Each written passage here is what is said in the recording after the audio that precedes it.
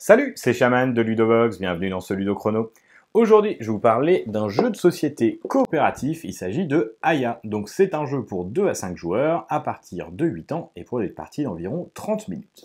Alors Aya, c'est un jeu chronométré dans lequel nous allons essayer de faire un maximum de points ensemble en plaçant des dominos cascades. Donc chaque joueur va avoir sa pile de dominos cascades et nous allons essayer ensemble de constituer une grande cascade pour euh, gagner des points de victoire. Alors le principe c'est que nous commençons à une cascade et nous allons suivre le fleuve euh, au cours de nos périples avec nos dominos cascades pour découvrir divers environnements. Nous allons avoir cinq types d'environnements, euh, de la forêt, de la plaine, du désert, du désert polaire et enfin nous allons avoir de la montagne. Au fur et à mesure de nos voyages, nous allons pouvoir traverser ces différentes tuiles et prendre donc des photos qui vont nous rapporter des points de victoire. Si nous réussissons à valider toutes les tuiles d'un même paysage, nous créons même un triptyque de photos qui va nous rapporter des points de victoire bonus. Et également, au cours de nos, trajets, nous allons pouvoir essayer de prendre des photos d'animaux. Donc, pour chaque type d'environnement, nous allons avoir des jetons ici qui représentent différentes photos que nous pouvons prendre sur la route. Alors, nous avons un sablier ici qui représente 10 minutes et nous allons le retourner deux fois pendant la partie. On va jouer 20 minutes, deux phases de 10 minutes qui pourront chacune d'elles être un peu intensives, du coup on va avoir une petite pause entre les deux sabliers pour réfléchir à comment on va s'organiser. Lorsqu'on démarre, on retourne le sablier et on est parti tous ensemble. À notre tour, on peut prendre dans notre réserve un domino. On le regarde, il va représenter un certain type d'environnement et on va pouvoir éventuellement le garder justement pour correspondre à ce type d'environnement ou on peut l'utiliser pour d'autres cas. Euh, on peut donc le placer immédiatement n'importe où sur le plateau ou alors on peut le placer dans notre réserve. Donc là par exemple si je décide de le placer dans ma réserve, je le place ici, face visible et il reste là. Je prends un deuxième domino, c'est toujours le même, ça m'intéresse pas, je le place sur ma réserve. À mon tour, quand je dois prendre un nouveau domino, je peux soit prendre le domino le plus haut sur ma réserve, donc une seule pile, et je ne peux prendre que celui du haut, ou alors je peux prendre n'importe quel domino euh, face cachée. Voilà, donc ça, ça me convient. Donc je vais placer mon domino, sachant qu'il faut que j'essaye de respecter le sens du fleuve. Tous les autres joueurs font évidemment ça en même temps.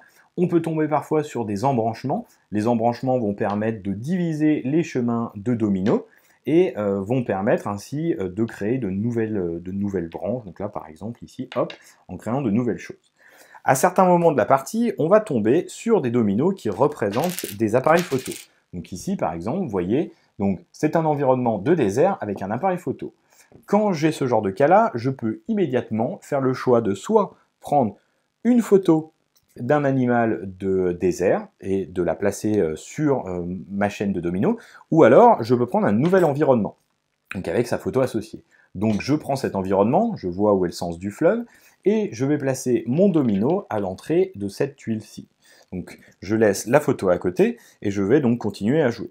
Maintenant, je vais essayer de compléter tous ces éléments-là que je vais faire au fur et à mesure de la partie. Donc je vais rajouter des nouvelles tuiles avec des embranchements de fleuves et des photos que je vais pouvoir récupérer.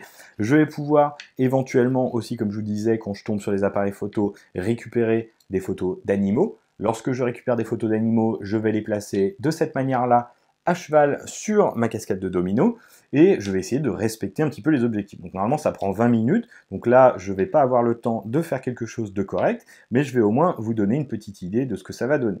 Donc on essaye de faire au mieux bien évidemment pendant nos deux phases de 10 euh, minutes. Lorsque le temps est écoulé ou qu'on pense qu'on ne va plus rien toucher du tout, eh bien on s'arrête. Donc là, par exemple, ici, voilà, je vais avoir une petite euh, démonstration de cascade, si ça fonctionne bien. Donc imaginons que tout est bon, je vais lancer une impulsion. Hop. Donc j'étais pas trop mal. Si la cascade s'était arrêtée à un moment donné, j'aurais pu donner une nouvelle impulsion en consommant un jeton de relance. Donc ça, ça se soustraira à notre total de points de victoire à la fin de la partie. Et je peux le faire jusqu'à ce que tous les dominos de la table soient tombés. Si jamais j'épuise tous les jetons de relance, je peux continuer à euh, faire des relances, mais elles ne me feront plus perdre de points, mais j'ai perdu le maximum de points de victoire possible avec les jetons de relance, c'est-à-dire 10 points. Une fois que tous les dominos sont tombés, on va pouvoir évaluer notre score. Donc, pour valider une tuile de paysage et donc la photo associée, il faut que toutes les entrées et sorties de fleuves de cette tuile euh, aient été recouvertes par des dominos. Donc euh, parfois, par exemple ici dans cette tuile-là, on peut voir qu'il y a plusieurs entrées et sorties de fleuves, il va falloir toutes les couvrir, donc il va falloir que notre chaîne de dominos passe plusieurs fois. Et il faut que les dominos qu'on utilise sur cette tuile paysage soient évidemment du type du paysage euh, en question. Si c'est bien le cas, on gagne la photo. Si jamais on a réussi à faire ça pour les trois paysages de ce type-là, donc imaginons par exemple j'ai réussi à faire les trois paysages de désert, alors je vais pouvoir gagner euh, le triptyque complet de, euh, de, ce paysage. Donc voilà, on voit une photo qui fait, qui fait un paysage complet. Ça me vaut 1, 2, 3, plus un point bonus, donc 4 points au total.